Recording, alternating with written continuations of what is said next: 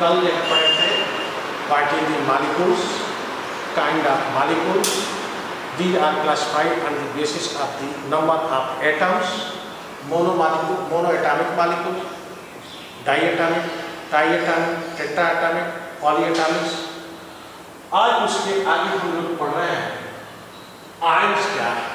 What is the ions when atoms or group of atoms lose or gain of the electrons become charged, that is the type of the अर्थात तत्व या परमाणु या परमाणुओं का समूह या तो इलेक्ट्रॉन देता है, या तो इलेक्ट्रॉन लेता है।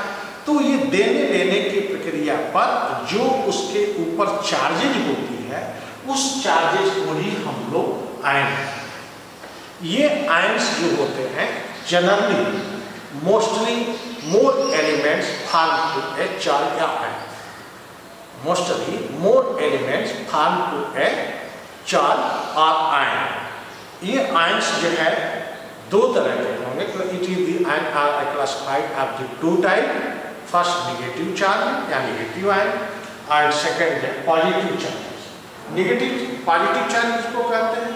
When the lose of electron of atoms those atom is the called of the positive charge for example Na Na is the lose of one electron power plus charge Mg Mg is the two electron are lose it is the part of the Mg power plus Al Al is the three electron are loose, three electron are loose. It is the part of the three positive charge. ये positive charge second negative ions negative ions दो atoms or group of atoms gain of electrons form become to ये negative charge for example Cl और minus O और minus minus S और minus etc. It is the uh, gain of electron, this region, form to a negative charge. Cl पर one electron, ये oxygen पर two, sulfur पर two. It are a classified of the three, three types. इसको कितने भागों में classified किया गया वर्गीकरण किया गया? तीन तरह फ़र्स्ट कैटायन्स कैटायन किसको कहेंगे? दो पॉजिटिव चार ion are called cation ये कौन सा चार्ज हो जाएगा पॉजिटिव चार positive charge ions are known है आयन्स आर नोन है नोन है कहता है कहता है फॉर एग्ज़ाम्पल इसमें भी वही नहीं यल ए पावर प्लस कहता है। यल की power plus plus C A power plus plus are metallic elements give to पॉलिटिचर all metallic elements yeah metal metal elements form a positive charge second anion those elements negative charge ion are known as anion इसका ठीक उल्टा बोलोगे इसमें क्या बोल लिखा हूँ positive charge ion are known as cation इसमें लिखोगे negative charge ion are known as anion for example इसका एग्जांपल क्या है Cl और माइनस S और माइनस माइनस O और minus minus all non-metallic elements form to a anion form to a yes anion for example chlorine chloride हो गया sulphur sulphide हो गया of not elements is the form to a ये anions third है ion what is the poly atomic ion A group of atoms carry charge and act as single entity is the known as the polyatomic ion. क्या हमको बोला A group of atoms carry charge and act as a single entity is known as the polyatomic ion. polyatomic ion को हम लोग यहाँ पर लिखेंगे polyatomic ion क्या होगा फॉर एग्ज़ाम्पल इसका जो है polyatomic ion का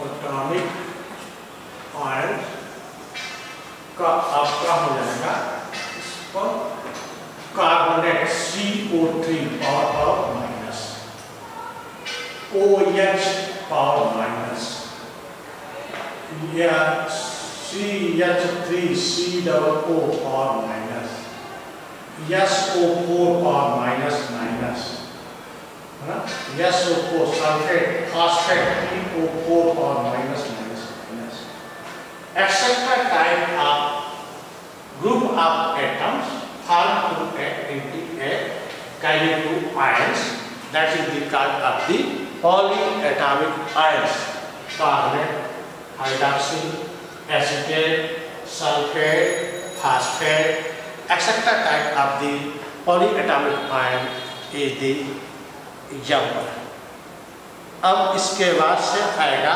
valency what is the valency the combination power of the atom card of the valency combination अर्थात परमाणुओं के संयोजन करने की जो क्षमता होती है, इस क्षमता को ही हम लोग संयोजकता या वैलेंसी कहते हैं। वैलेंसी जो है यह अलग अलग एटम्स के वैलेंसी के आधार पर एलिमेंट्स को दो भागों में हम क्लासिफाई करते हैं। First stable elements second non stable element अस्थाई और दूसरा अस्थाई अस्थाई किसको कहते हैं? दो elements their valency is the zero that element is the of the stable element for example helium neon argon krypton etcetera type of elements is the stable element second होगा नॉन अनस्टेबल एलिमेंट दो element the outermost shell are the incomplete fill of number of electron दो element is the call of the unstable elements unstable किसको कहेंगे? वह तत्व जिसके बाहरी shell outer most shell में number of electron are incomplete number of electron क्या होते हैं? इनकम्प्लीट होते हैं, अपूर्ण होते हैं। उसको हम लोग अनस्टेबल एलिमेंट्स कहते हैं। स्टेबल एलिमेंट्स को छोड़ करके अन्य सभी एलिमेंट जो है? अनस्टेबल होते हैं। इस अनस्टेबल के वाले ही एलिमेंट्स दूसरे एलिमेंट को कंबाइन करके कंपाउंड को फॉर्म करते हैं। ये कंपाउंड फॉर्म करने के लिए रूल्स होता है जिसको हम लोग केमिकल फार्मूला कहते हैं। ये कैसे हम लोग केमिकल फार्मूला फॉर्म करेंगे।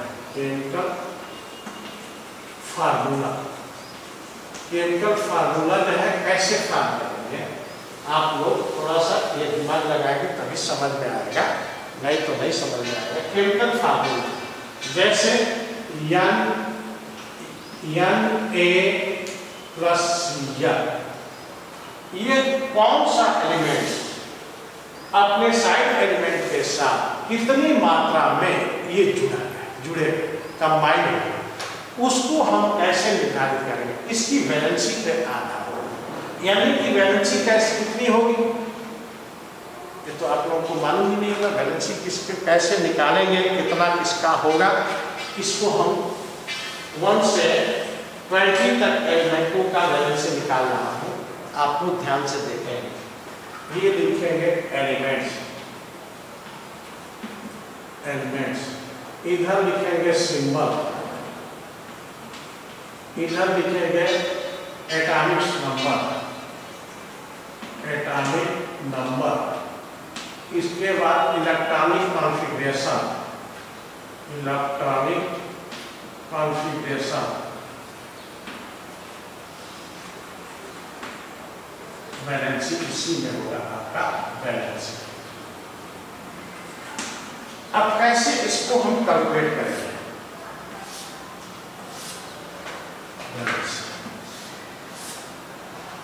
वैलेंसी को कैलकुलेट करने मान लीजिए हाइड्रोजन यह एलिमेंट्स हम लोग का क्या होगा हाइड्रोजन हाइड्रोजन का सिंबल क्या होगा एच हाइड्रोजन एटॉमिक नंबर इसका